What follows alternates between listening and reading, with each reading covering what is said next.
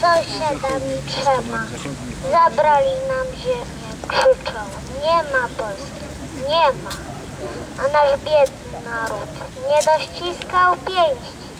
Nie doczekał takiej chwili, aż musiał poszczęścić.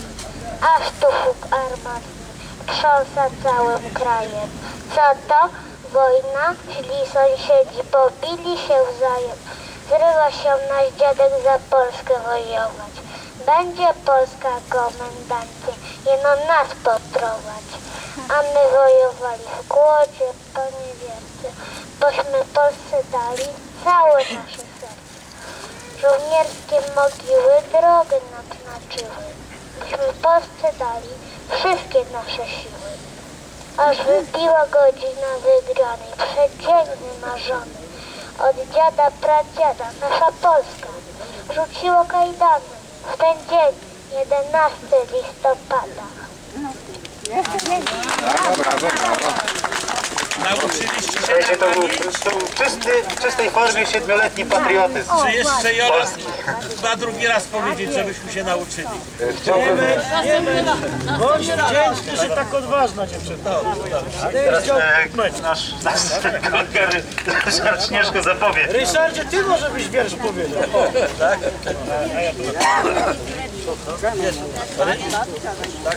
Rymo, rymowanki na temat aktualnej sytuacji to byłyby raczej niecenzuralne, tak szczerze mówiąc.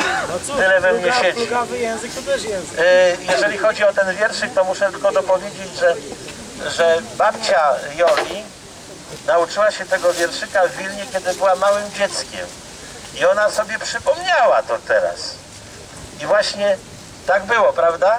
I babcia cię tego nauczyła. Z pamięci wygrzebała gdzieś jeszcze to, nie, ma, nie na żadnej kartce papieru, czy gdzieś tam jakiejś publikacji, tylko tak jak kiedyś uczono dzieci. E, Szanowni, mili, mi- miłe panie i panowie bardzo, mili mówiąc słowami e, młynarskiego. Otóż jest taka rzecz, że nasi bratankowie Węgrzy e, w przyszłym roku, już 23 marca w Budapeszcie odsłonią pomnik katyński. Już jest y, te sprawy administracyjne pozałatwiane.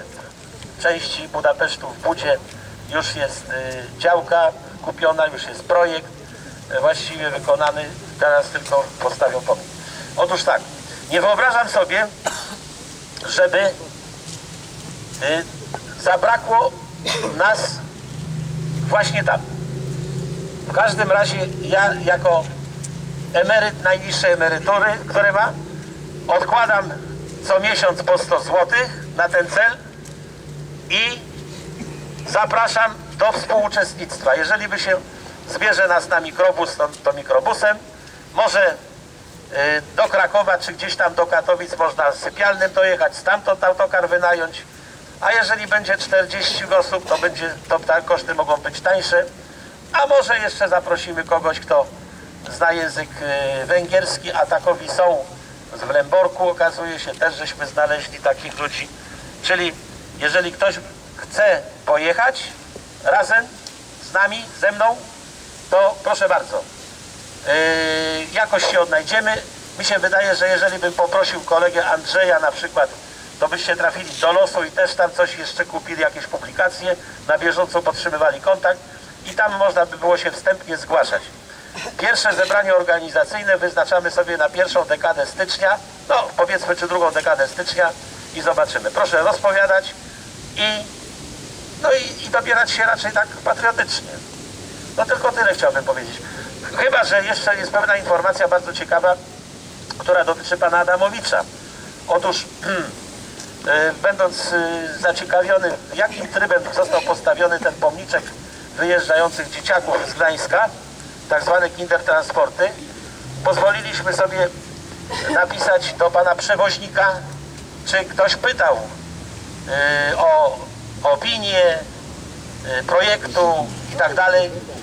No i 10 października datowane pismo przyszło y, z odpowiedzią, że niestety, ale władze miasta Gdańska ani w Warszawie, ani w wojewódzkiej ekspozyturze żadnego takiego pytania nie zadali. Czyli jeżeli chodzi o prawo, a przynajmniej o ustawę, y, to pan Adamowicz samowolkę tutaj uskutecznił i ten